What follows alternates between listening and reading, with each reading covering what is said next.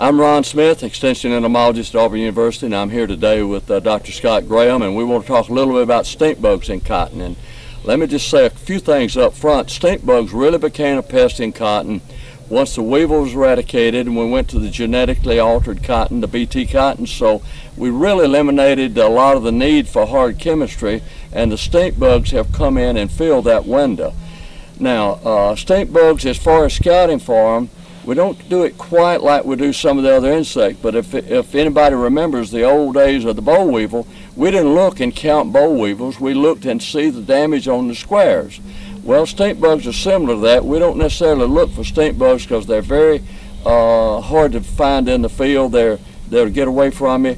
But what we do is, uh, since we know they feed primarily on bolls or almost solely on bolls, then we uh, examine bolls and uh, beginning about to the third week of bloom, we are in a critical window for stink bugs in the season, and that lasts really through about the sixth week of bloom.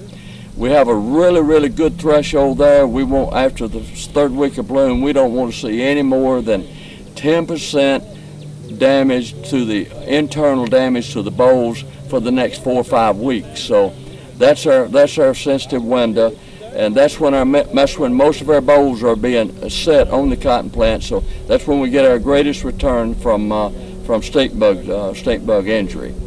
Now, as far as scouting, we want to select bolls from the plant and uh, and uh, examine bolls uh, about 10 days old. That'd be about a quarter in diameter and uh, we want to burst those bolls. If when you're picking them and selecting them, you want to get a boll that's a little spongy to the touch, and that way you can press it between your thumb and fingers and burst it open. Look internally for warts or any sign that the stink bug pierced the boll wall, or maybe even a little bit of stained lint, which is going to result in either an entire boll being damaged or damaged locks that will never go through the uh, the picker at harvest time. So that's it. Uh, we with stink bugs we have to use uh, a very hard chemical, and that normally at that time of the year that's either a pyrethroid at a high level rate or Bidrin is our basically our two choices I think in Alabama on stink bugs. Okay, here we are, uh, Prattville, Alabama, about the middle of July, and we're beginning to change our focus now to some stink bugs, and just want to talk about a little bit about how we're going to scout them. Uh, we pulled some quarter diameter bolls that are still kind of soft and mushy to the touch. Those can be easily uh, easily crushed between the finger and the, and the thumb.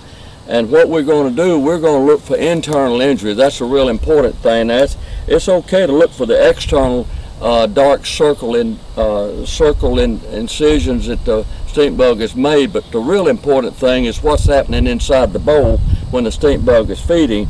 And some examples here in my hand is uh, we'll see the, the lint will begin to stain and, uh, and show an off color or a brown color if it has internal feeding damages. And I think that's just uh, rot organisms that's been introduced into the boll. You see what the stink bug's trying to do is get in there to feed on the seed and get some protein out of them. So we're looking internally in quarter diameter bolls that crushed by the hand. We're looking for internal uh, discoloration on the lint. And the other thing that we want to look for is uh, Dr. Graham here is going to hand me some that we found.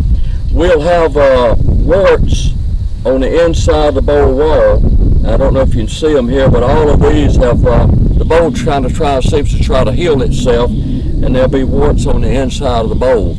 And, um, and uh, sometimes you won't see a wart, but you'll actually show where the, see where the mouth part of the stink bug went through the boll wall. Any of those may cause uh, one or more locks to deteriorate, maybe a whole boll uh, to uh, be deformed or hard locked at harvest time, and that's just something we don't pick. So that's the reason we like to keep our threshold during the peak of the fruiting season, the boll set season from weeks three through about six. We want to keep our damage from stink bugs to 10% or less.